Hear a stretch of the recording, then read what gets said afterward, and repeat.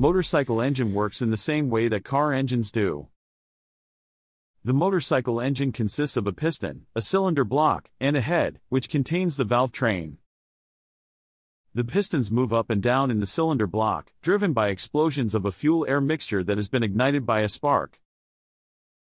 Valves open and close to allow the fuel-air mixture to enter the combustion chamber.